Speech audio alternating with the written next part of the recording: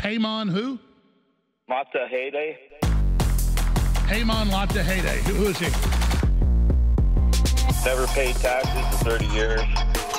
Bought the U.S. tax court and won. See, I believe our rights come from God, not from government.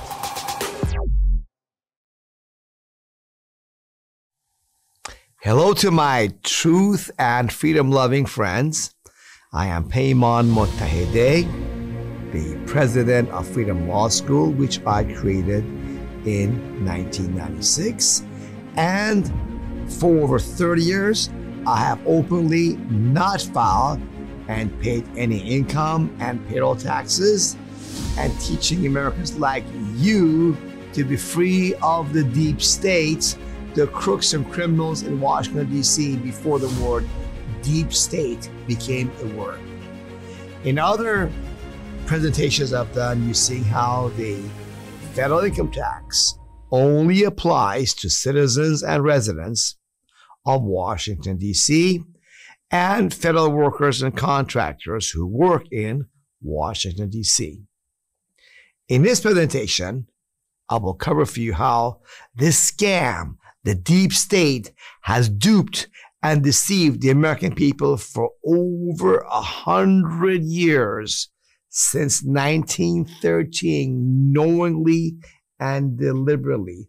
The truth was hidden in front of all of us in plain sight in the law books, but nobody looks at laws anymore. Folks, what I got here for you is the Internal Revenue Code the federal tax laws, the Bible of the IRS that they are supposedly following and imposing taxes based upon what's in here about 10,000 pages of tiny font minutia gobbledygook of confusion. Well, I'm going to show you basically these tax laws going back to 1913 when the modern day income tax started and show you that even your grandparents and your great grandparents did not have to file and pay any federal income taxes either if you are simply a citizen or resident of one of the great 50 United States. So let's go to my screen and you see right here the 1040 US individual income tax return. This U.S. is a District of Columbia individual income tax return, not a 50 states individual. And previously, to give you an overview, I showed you from Title 26, the Internal Revenue Code, available at uscode.house.gov, the government's website, for free. That uscode.house.gov, you can type it in, it'll come up for yourself, uh, Section 7701 of Title 26. So as we, as you know in definitions in chapter 79, it tells you that when used in this title, again, that title is Title 26, the Internal Revenue Code that they're referring to. You, and you go down and define the term state and United States. And neither of these terms include anything beyond the District of Columbia. Okay. So United States in tax law, the U.S. individual got to pay income tax and tax law is a citizen and resident of D.C., District of Columbia, not you, the people of the 50 states. I covered also previously how the U.S. Supreme Court has said in like Stenberg versus Carhart in 2000 case and other cases besides that when it comes to definitions, you have to follow these definitions. That when a statute or law, legislation, includes an explicit definition, like what you just saw, we must follow that definition, even if it varies for that term's ordinary meaning, or the meaning of the term United States means the 50 states united. But we cannot go by that. We have to go by what's exactly the lawmakers have written. Okay. So here it is. They also add that it is axiomatic, self evident, obvious that the statutory definition or legal definition of the term excludes unstated meanings of that term. The term 50 states are not here in United States or states. So the 50 states are excluded. They're not here because none of the 50 states are listed in here. Also, we covered in other videos how Supreme Court in Stanton versus Baltic Mining Company in 1916, okay, told us that the 16th Amendment conferred no new power of taxation to the federal government. Okay, this is based upon the Brushaber case that came before to that. So, Sixth Amendment didn't do anything, and we know that the direct tax limitation income tax still apply to tax you directly they must do it the same way it was done way back in 1798 in this act that you see as an example of that it was done in the early 1800s and this video on that is called how income tax was established in the us despite the 16th amendment okay so you want to watch those videos if you want to know more about those topics we're going to go now to 1913. That's right. The very first federal income tax, the modern law, after the, the so called ratification of the 16th Amendment. It wasn't ratified, but doesn't matter. It's irrelevant, anyways. So let's look at this. As you see here, it's a 1913 law on top right, okay? And then it's a uh, act all kind of taxes. And it says that every this tax is for every citizen of the United States. Income from all sources. And then it also mentions that it's on the net income from all property owned and of every business, trade, or profession carried on in the United States by persons residing elsewhere. And a tax rate. So the, the key term, of course, is United States. We have to come back to that term United States a lot in this presentation. I'll cover that and I'll also cover the term trade or business later on also. Okay. So you notice the tax rate, it was anywhere from 1% to 6%. You have to make over $20,000, okay, to pay 1%, which in today's money is over $2 million. Yeah. You made below 2 million, you paid zero even though you were DC or US territory citizen at the time. now, the 6% tax, the highest rate, applied to somebody who made over $500,000, over $50 million on today's money. See what they did? They got the tax in there, got the court to say that, you know, it seems to be constitutional, and that tax rate was low. Over the decades, though, slowly they raise the tax rate and more and more people gradually believing they gotta pay income taxes. They did. And then later on, but after World War II, most everybody thought, oh yeah, we gotta pay income tax. And everybody just went along with the program of becoming total slaves of the federal government, who has which has become the enemy of you, the American people, which is enslaving and destroying you. So let's get back now to this 1913 law. And you see 1916. um, okay, here we um, oh, no, I'm sorry, back to 1913 law. We're going to go down now to definition of the term United States and state here. Here we go. That's the key part.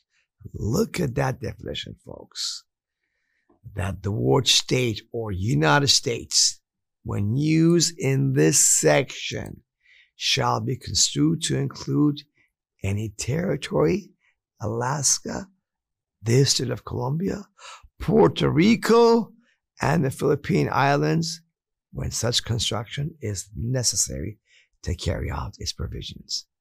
Folks, that's very clear. That's very clear. State United States do not include any of the Union states. There was 48 back then. Alaska and Hawaii were territories back then.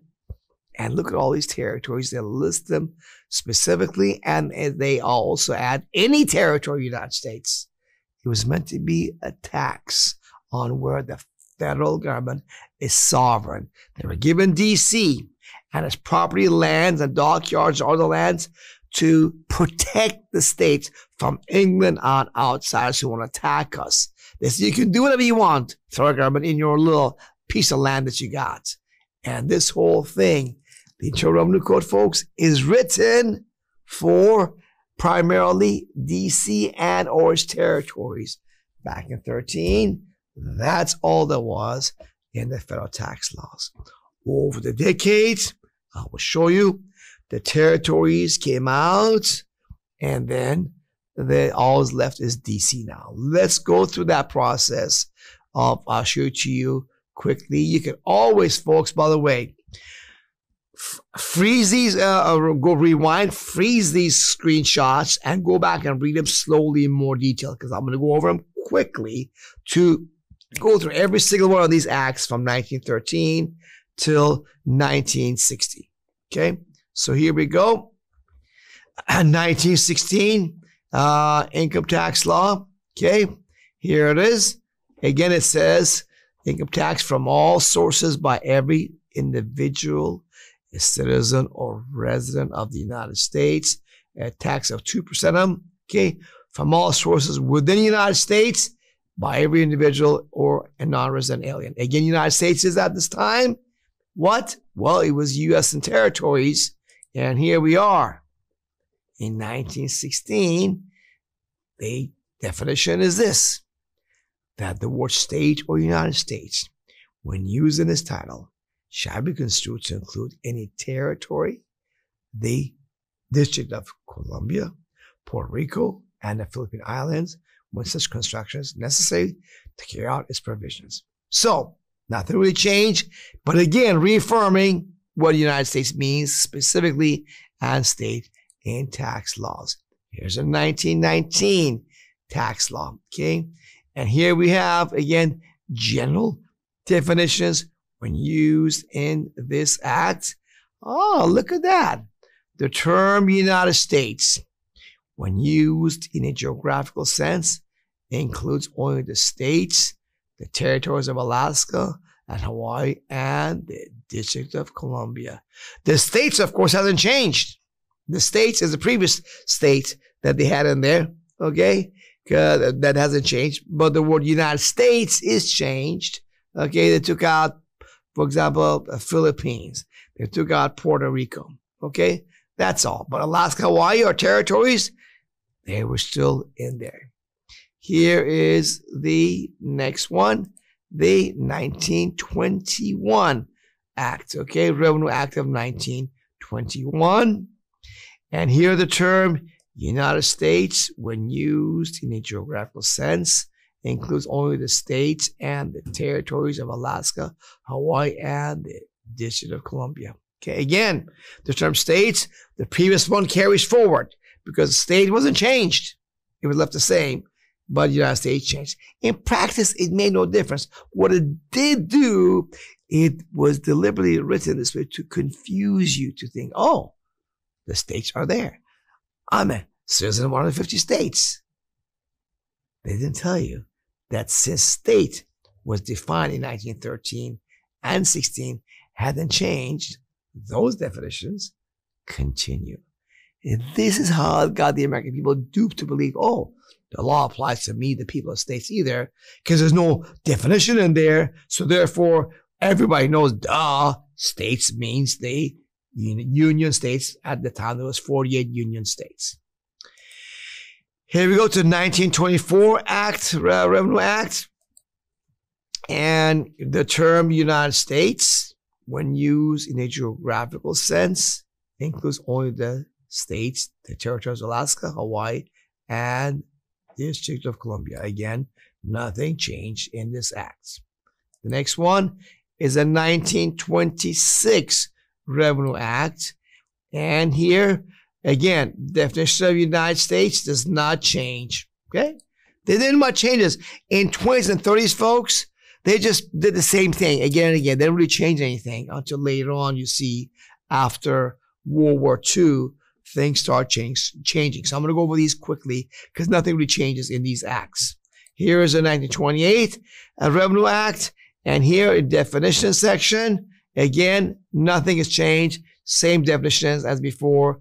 Uh, territories of Alaska, Hawaii, and DC are United States. Here's the 1932 Act. Here we go again, Revenue Act of 1932. And here we go under definitions. You see that again, nothing has changed here either. Okay. And here we got the 1934 Act. In 1934 Act, again, now they put definitions in section 801 of their uh, the, the, the laws and definition of the term United States, again, hasn't changed, same as before. In 1936, uh, Revenue Act, they have definitions, and we go down again. United States is DC, Alaska, Hawaii territories. Next, 1938 Act. Okay, Even now the definitions are on Section 901 of this Act, and United States and states here again. We see that they have not changed or remain.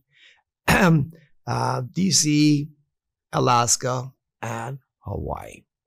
1939 statutes at large. This is when they made the, the law, the Internal Revenue Code of 1939. They put them in this booklet format. Instead of being a bunch of statues, they put them all in this one book. All revenue acts were consolidated into one in 1939 statutes at large. So here we go. In this one, look at the definitions. In, in this, uh, it was in 3797 section, definitions, United States, okay. Again, same definition, uh, uh, Alaska, Hawaii territories, and DC. But the word state, look at that. They include the territories and districts of Columbia. Again, they clarified this stuff. They want to make sure that you know the term state is not the 50 states. The term state is the territories of the United States and DC. So this time they told people clearly again, folks, don't think we're taxing you. We're telling you right there in law, the 50 states people are left out of United States and states. Then in 1954, okay, okay, again, the definitions continue. And what they do here, okay, well, United States, okay, includes all the states, territories of Alaska, Hawaii, and DC. And the term state, ter- definition doesn't change either, includes all the territories, even Puerto Rico, America, Samoa, and Guam, and DC. Uh, they don't have to mention Alaska, Hawaii separately because they're all territories right? So here we go. Let's go now from 1954 to 1959. In 1959, Section 7701, okay, of the tax law of 1954, what they did, they amended it by taking out, striking out the territories of Alaska and Hawaii, and instead adding in, inserting territory of Hawaii. So Hawaii had to be put back in when they took Alaska, Hawaii out because what happened there? At that time, folks, Alaska became a state. No longer could be taxed. No longer a territory. But Hawaii was still a territory of the United States. Let's continue now to the next law in 1960. It gets interesting in July 12, 1960, the Internal Revenue Laws. Here, they mentioned that they, uh, they, they took out, strike out, take out the word territory of Hawaii from section 7701 A9 in defining the term United States.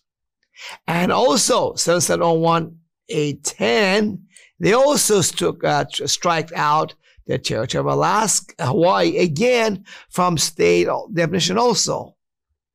And interestingly enough, look at this.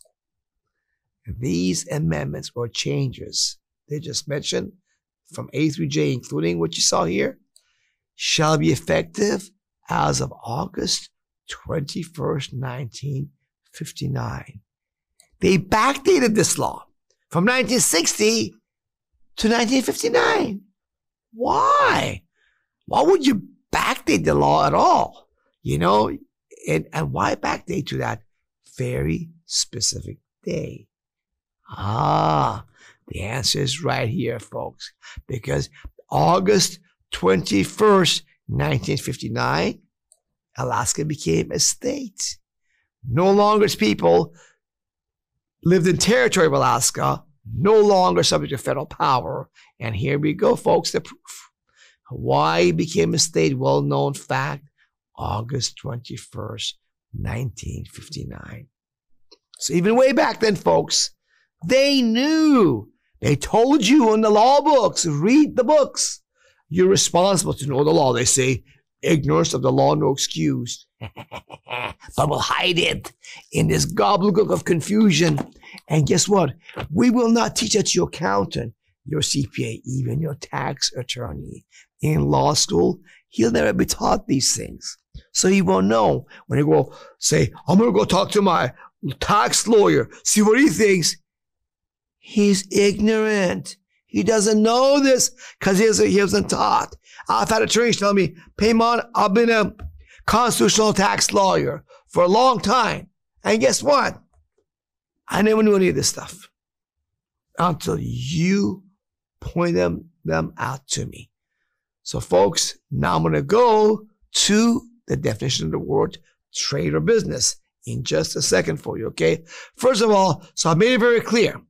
In Internal Revenue Code, folks, okay, United States and states are only DC, only DC citizen residents got to file income tax. We're going to go down now and talk about the term trade or business, which, as you know, I've shown you, includes only performance of functions of a public office.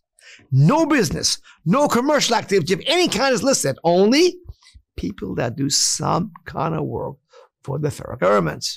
Now, again, we have to go by these explicit definitions and nothing else is added in there. However, we did some research for you and found this out, which you go and love, okay?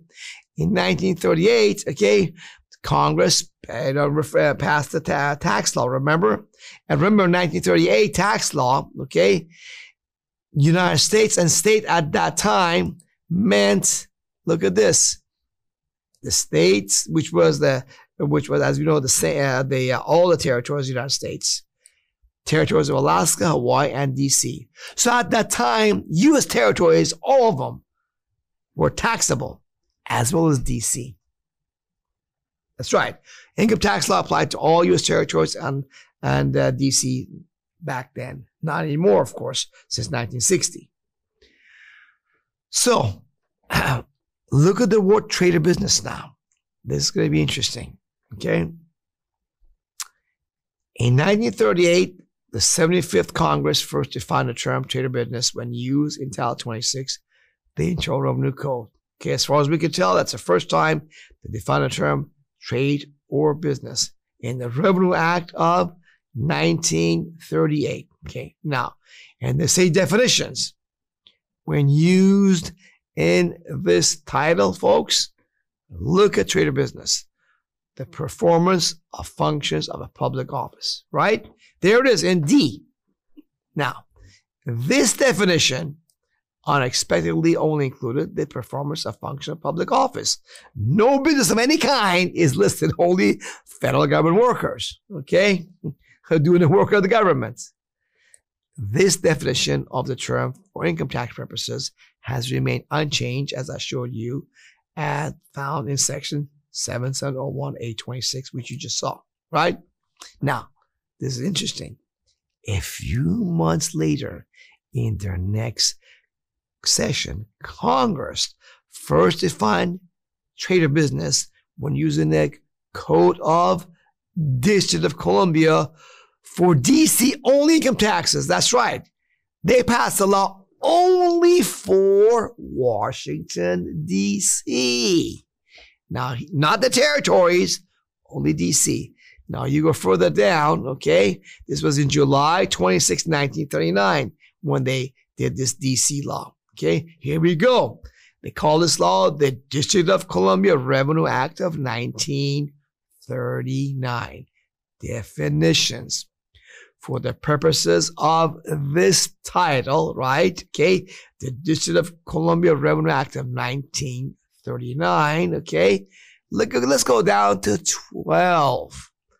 There was trade or business, including the engaging in or carrying on any trade, business, profession, vocation, or calling, or commercial activity in the District of Columbia and include the performance of the function of a public office as a separate as a separate activity. This shows very clearly, folks, if they wanted and they could, per the Constitution, tax the people, you know, uh, the uh, in the in the fifty states, okay, uh, the the commercial business activities they would have done so, but they never did. The authority to tax in the 50 states is only performance function office. And Baba, that's for people that work in DC. But in DC, they can tax any kind of business or commercial activity.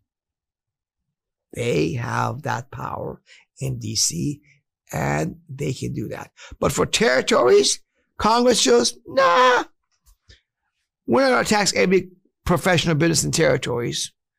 In territories, you know, we only tax federal government workers. That's the choice Congress made because they can do that. Okay. So this definition, in addition to performance of functions of a public office or doing work of government, includes what most people would expect a definition of the term trade or business to include. What?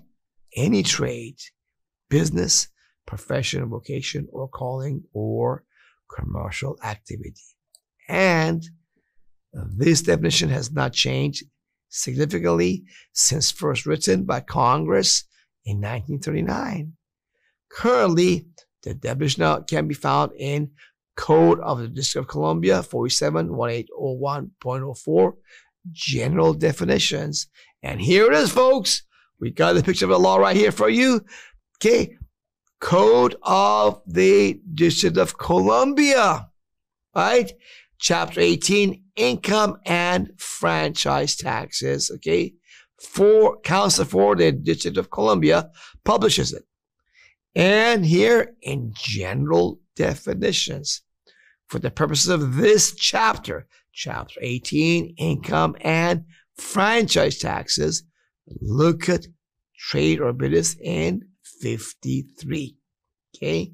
Means engaging in, in or carrying on of any trade, business, profession, vocation, or calling, or commercial activity in the District of Columbia, okay, including activities in a district that benefit the related entity of a taxpayer, the performance of function of public office, and lease get real and per, or personal property in the District of Columbia by any person whether or not property is leased directly by a person or through an agent, officer, or representative, and whether or not the person, agent, officer, or representative performs any services in connection with the property. Wow. Look at that nice, detailed specifically. and they can tax, they want to tax the hell out of it in DC because they're going to do what they want in DC. Okay. So this again shows you proof that when you see trade business in the federal income tax laws in Title 26, it does not include anything except federal government workers and contractors. Same goes with the United States means only Washington, D.C. Right? So we know now, based upon all this, that clearly the income tax laws only apply to DC citizens and residents, folks. What they did with you folks, they deceived you. Okay? Here, they um, we have here the um, definition of term United States. The U.S. individual income tax return is not a 50 states income tax. It's a DC income tax. That form should be called the DC individual income tax return, but they don't do that. They call it United States individual income tax return. And they don't tell you, oh, by the way, United States is not the 50 states. It's actually the District of Columbia only. You should read it. We told you in the law books. Ignorance of law is no excuse, they say. So, folks, what you want to do is go to our website, freedomlawschool.org, and take the seven steps to regain your power and freedom and never again voluntarily pay the Washington, D.C. swamp legally and safely guaranteed if that's what you want. I cannot make you free. Only you have the power and the choice to make you free. All I can do is take you to the water, but I cannot make you drink. I love everyone. I want you to be free. I want you to have a free life. And together with me and others, we work together to have America be a free country for ourselves, for our children, our grandchildren, folks. That's what it's all about. But to do that, folks, you got to be able to choose when you go to and from work on a shopping errands, put up videos up in your car as you look at the road, drive safely, listen to the videos, and then when you have lunch or dinner, put your smartphone up one more time, and then you can this time listen and read at the same time to verify the thing I'm telling you is not my opinion. Uh-uh. It's U.S. government's official legal websites, reports, and publications that we rely upon. So with that, folks, I give you my love. I give you the choice that God wants you to have the choice to continue on your path to freedom. Never again be a slave of the deep state because they made you believe, oh, they're going to get me don't file income tax. That's all lies, lies, lies, lies. In step two, three, and more, you see why they're not so strong. Why filing a 1040 form is the very thing that puts a rope around your neck and gives them the power. You got to stop filing those 1040 forms. You don't need to be afraid once you know the truth. Seek the truth, and the truth shall set you free. Freedomlawschool.org.